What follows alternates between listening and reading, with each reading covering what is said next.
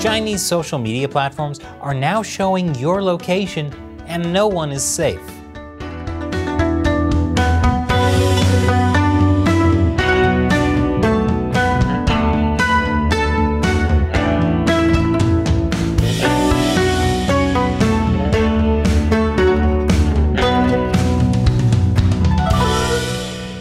Welcome to China Uncensored. I'm Chris Chappell. This episode is sponsored by Surfshark. You should be using a VPN like Surfshark to protect yourself whenever you go online.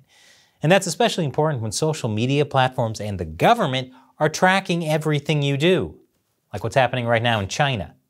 Because platforms like Weibo are now publicly displaying users' location based on their IP addresses. Weibo is like China's Twitter, if Twitter also displayed the city, state, and country you're logging in from each time you post something. Weibo announced this IP location feature as a measure for maintaining a healthy and orderly atmosphere for discussion and to ensure the authenticity and transparency of content. They do such a great job of making invasion of privacy sound like safety. Living under the Chinese Communist Party is like living with a partner who demands to know where you are and who you're with at all times of the day. It's for your safety, honey. Weibo's new IP location function means your device's location is on public display, on all posts, comments, even on your personal profile page. And no, this is not optional.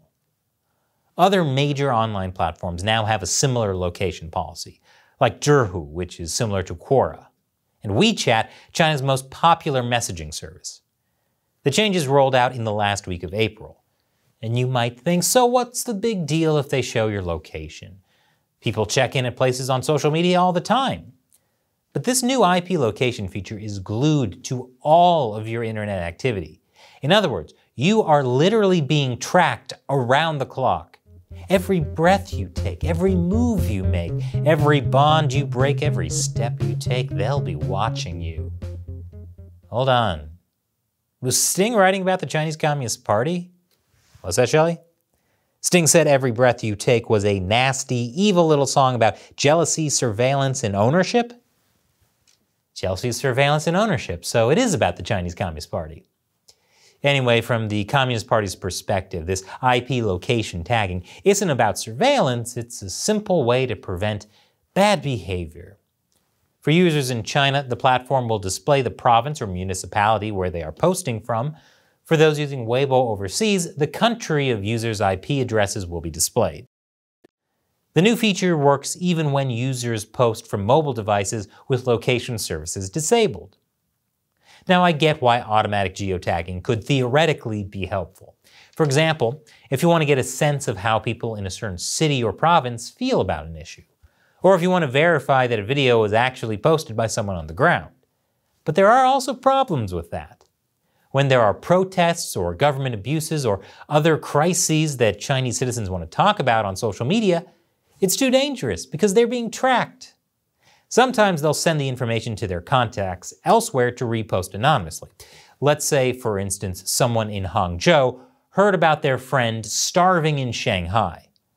They can attempt to spread the message on their social media platforms, but because their IP tag says Hangzhou and not Shanghai, no one will believe them.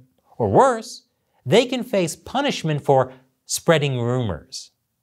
But now with this IP location tagging, Chinese state media can easily write off those sources as uncredible. They can claim it's all misinformation, especially if it's reposted by someone overseas. Then it's from hostile foreign forces. However, this policy was also bound to have some bugs. For example, on Weibo, Bill Gates' location shows up as Henan province, and Elon Musk shows up as being in Beijing. And that's because, and this may shock you, these billionaires actually hire other people to run their Chinese social media accounts for them. I mean, when you see a vanilla message like this from Elon Musk that's not trolling anyone, you know it was written by someone else. But like many policies made by the Chinese Communist Party, the IP location feature has now backfired. I'll explain more after the break. Welcome back. Soon after the IP location feature began, a trending discussion broke out under the hashtag, What's the meaning behind the IP function? It attracted over 200 million views. One user defended the feature, writing, 1. it helps to distinguish between domestic and foreign posts. Two, it helps to focus on the collective voice of a province. Three, it helps to identify criminal relations while combating internet violence. And four, it helps to tie together the virtual world and real society. Now, in some cases, these are actually true. Several accounts who claim to live abroad in places like Russia and are posting about their on the ground experiences in the Ukraine war have been revealed to be based in China. Whoops. Another example involves a user named Lian Yue, who is a well known pro Beijing blogger. He makes nationalistic posts supporting Shanghai's COVID prevention efforts, saying things like China's zero COVID policy is proven to be the most scientific, most humane, and most cost effective prevention measure. The West is suffering from their own arrogance by refusing to learn from China. And the whole world might have to deal with the pandemic for several years, but China will surely stabilize, not to worry. In other recent posts, Lian Yue would write articles saying, I tell the people who want to immigrate to Japan, don't go.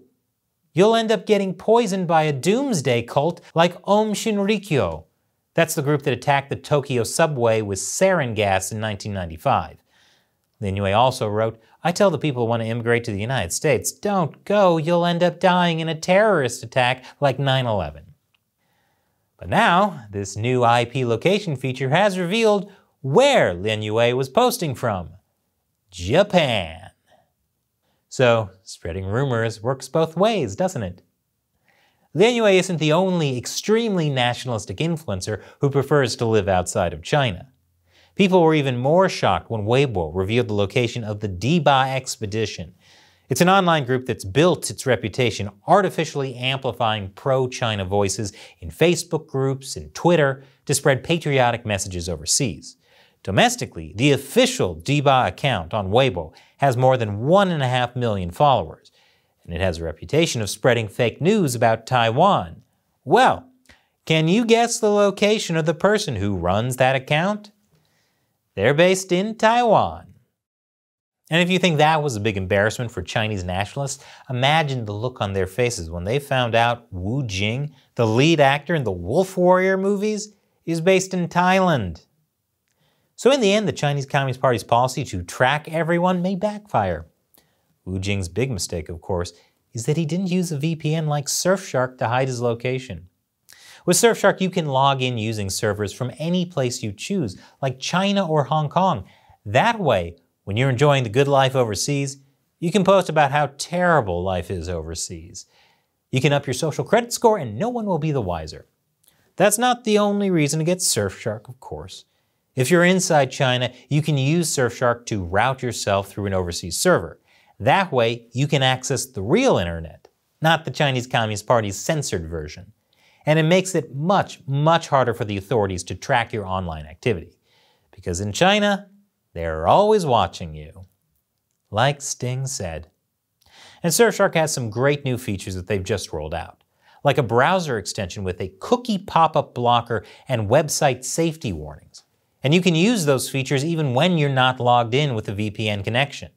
And with the new update, you'll be seeing fewer of those CAPTCHAs we all hate. Yes, I know what a fire hydrant is, and this is not it. The point is, whether you're in China or pretty much any other country, your online activity is being constantly monitored, which is why you should be keeping your internet activity private by using a VPN like Surfshark. It keeps you safe with top of the line, uncrackable encryption. So if you haven't yet, check out Surfshark. And Surfshark has a special deal that includes 83% off a two year plan plus three extra months for free. You can protect yourself for just 221 a month. Go to surfshark.com slash uncensored and use the code uncensored to lock it in. The link is in the description below. Once again, I'm Chris Chappell. Thanks for watching China Uncensored.